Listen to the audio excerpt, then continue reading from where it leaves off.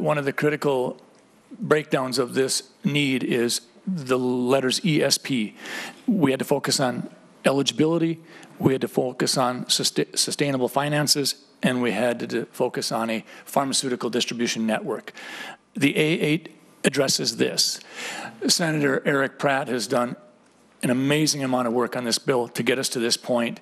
And I think what we need to do here with the A8 is we need to move the actual distribution to the pharmacies who are equipped to receive product, make certain that the packing slips match up with the product received, store it, label it, refrigerate it, keep it between two and four degrees centigrade, and then get it in the hands of the folks who need to inject it for life. One of the big differences that we, we have between uh, this bill and the bill that I introduced today um, is looking at how the emergency insulin is provided, um, how it's paid for.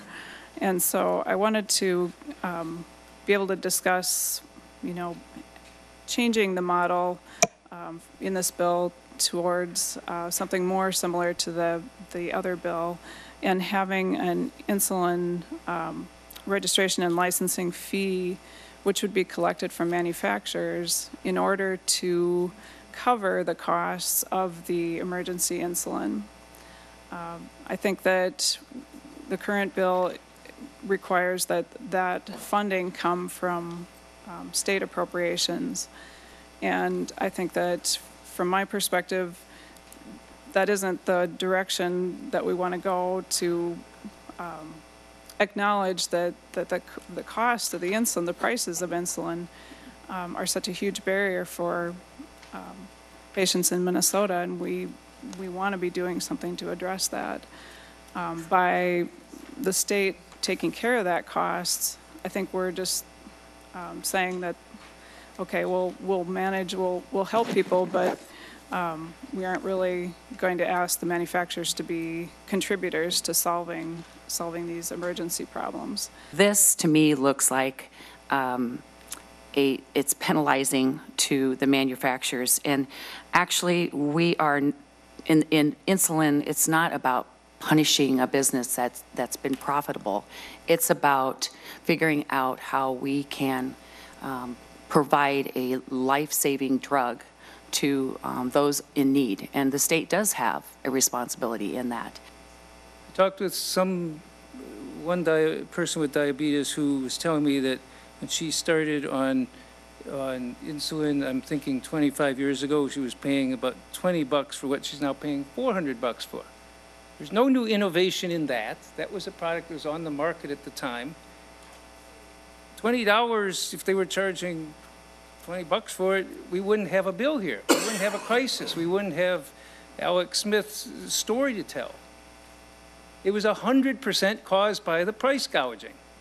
And the trouble I have, the reason I think it's important to do something where they're paying for it is the way it is in the bill otherwise is the state of Minnesota and its taxpayers will pay the bill. And if anything, that provides an incentive for the manufacturers to raise prices more. Because the visible stories, the tragedies that happen from people who can't afford the price go away because we're going to pay the cost of it now and they don't have to worry about it, so you can jack up the price further. The advocates for this bill have done is elevate the discussion and the consciousness. So we're all paying attention.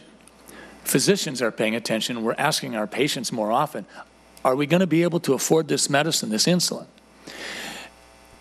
The pharmaceutical companies are hearing the message as well. We all know that um, just by the frequency of their visits to our office.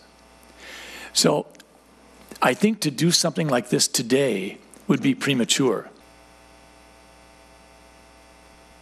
The Trump administration is putting forward an option for a second pathway.